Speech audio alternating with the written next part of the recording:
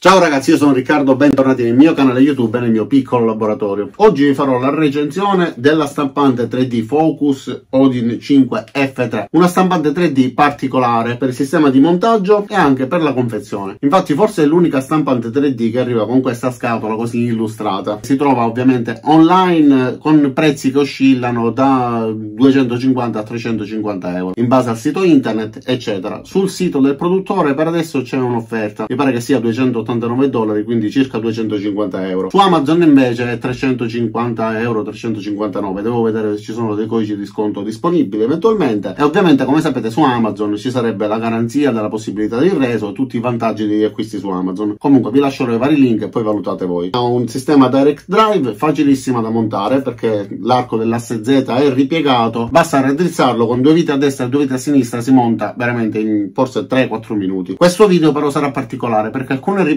verranno fatte qua all'interno del mio laboratorio, altre riprese invece verranno fatte all'interno del mio studio. Per questione di impegni e di tempo personale ho dovuto organizzarmi in questo modo. Quindi adesso vedremo questo video dell'unboxing, ovviamente il tutto accelerato, il video del montaggio e poi guarderemo per bene da vicino come è fatta la stampante e ovviamente anche le stampe che ho ottenuto. Iniziamo!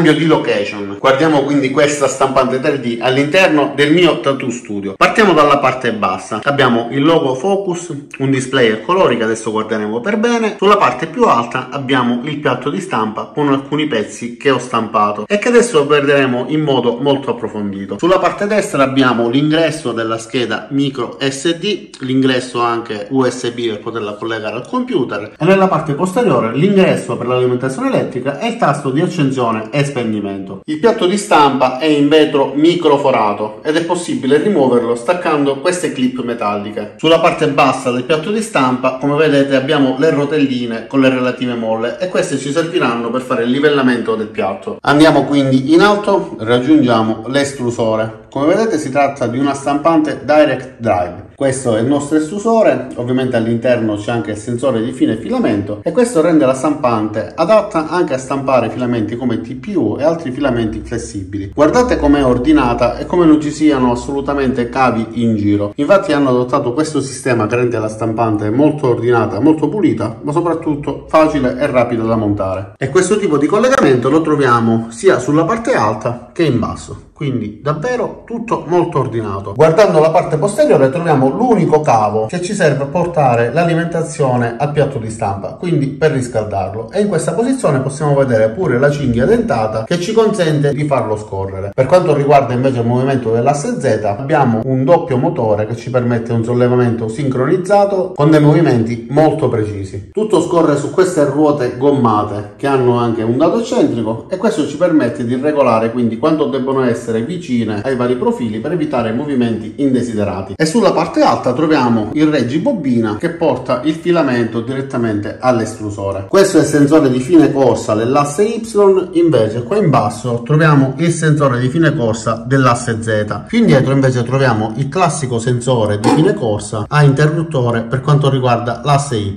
Fra poco guarderemo anche il menu di questa stampante, ma non prima di aver guardato per bene i pezzi che ho stampato. Allora non vi nascondo nascondo che inizialmente ho avuto un po' di difficoltà, non riuscivo a capire cosa stesse succedendo perché ho provato a stampare questo vaso e guardate all'interno cosa si è creato pieno di filini e non riuscivo a capire da cosa potesse dipendere. Quindi ho stampato una bench e ho avuto praticamente lo stesso risultato. A questo punto ho contattato il venditore che mi ha dato dei consigli per quanto riguarda i parametri. Nel frattempo però avevo fatto un altro paio di esperimenti cercando di ridurre questo fenomeno. In poche parole questa stampante richiede ben 10 mm di ritrazione Sinceramente non mi era mai successo di dover dare 10 mm di ritrazione soprattutto ad una stampante direct drive, ma effettivamente facendo le prove successive, come potete vedere, sono riuscito a stampare dei pezzi che a me piacciono davvero tantissimo. Guardate questo Superman, è venuto davvero molto bene.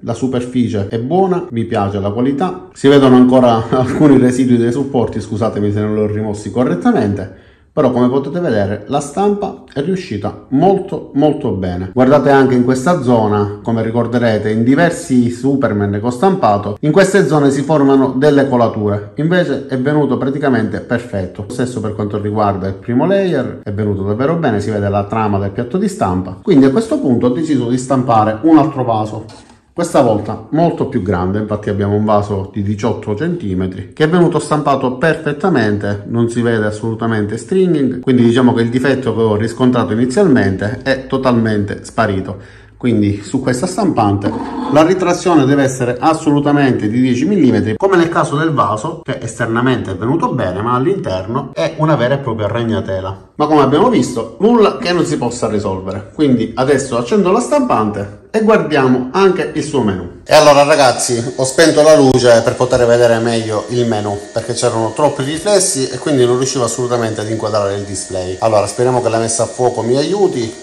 proviamo a vedere i vari comandi. Allora la prima voce è quella strumento e all'interno troviamo diverse possibilità di interagire con la stampante. Quindi per esempio il preriscaldamento possiamo lavorare sul riscaldamento del piatto di stampa oppure dell'estrusore.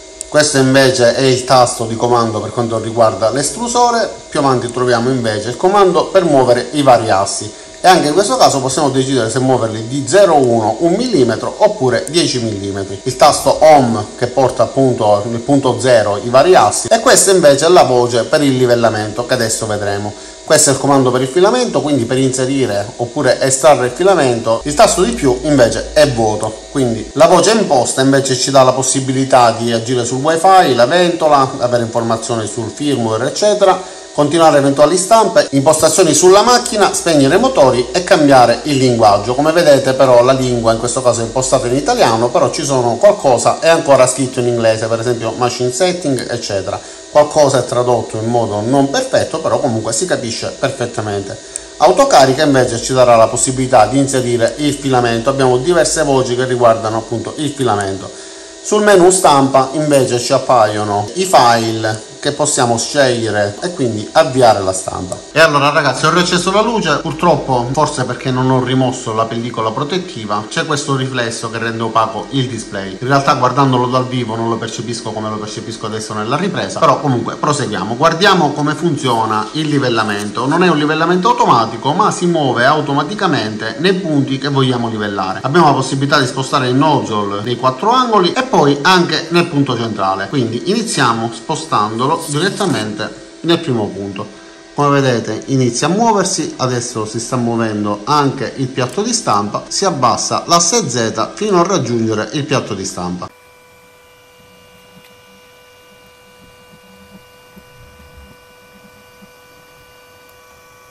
avete visto quindi il nozzle va a posizionarsi nel primo punto per consentirci il livellamento. Non ho messo il foglio di carta ovviamente perché non devo fare un vero e proprio livellamento, mi interessa più che altro farvi vedere i movimenti, però ripensandoci a che ci siamo facciamo una simulazione, quindi premo nuovamente, in questo caso si solleverà e si riabbasserà il nozzle, dandomi la possibilità di inserire il foglio. Ok. A questo punto dovrei avere una distanza tale che mi permetta di fare scorrere il foglio sentendo una leggera resistenza, quindi il nozzle che gratta sullo stesso e per fare questo devo avvitare o svitare in base alla necessità, quindi alla distanza che abbiamo, queste rotelle in basso.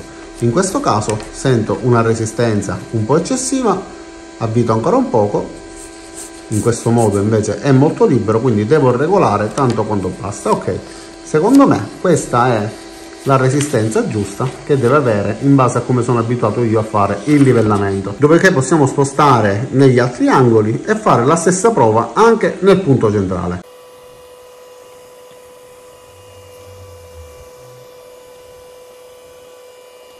A questo punto se io avessi fatto la regolazione delle rotelle mantenendo la distanza corretta con il fogliettino di carta avrei il livellamento eseguito in modo perfetto e potrei avviare la mia stampa.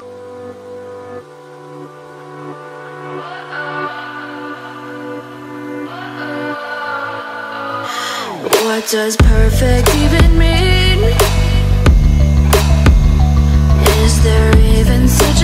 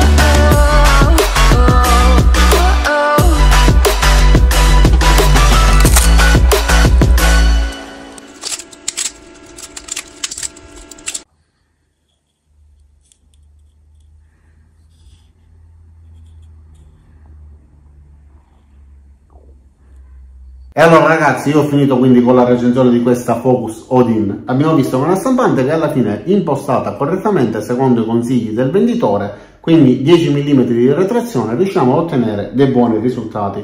E inizialmente mi stavo preoccupando Cosa dire? Secondo me come stampante è valida, facile da montare, facile da utilizzare con un menu completo che ci permette di dare diverse impostazioni e anche in italiano, quindi adatta a tutti, anche ai principianti che effettivamente con un menu in inglese potrebbero trovarsi in difficoltà. La facilità di montaggio, la facilità di utilizzo, la compattezza e i risultati che si riescono a ottenere sono dei punti di forza per questa stampante che effettivamente mi è piaciuta tantissimo. Detto questo non mi resta che ringraziarvi di aver visto questo video fino in fondo, vi invito ad iscrivervi al mio canale, mettere mi piace al video, cliccare sulla campanella qua giù per attivare le notifiche e ci vediamo ai miei prossimi caricamenti. Ciao da Riccardo e a presto!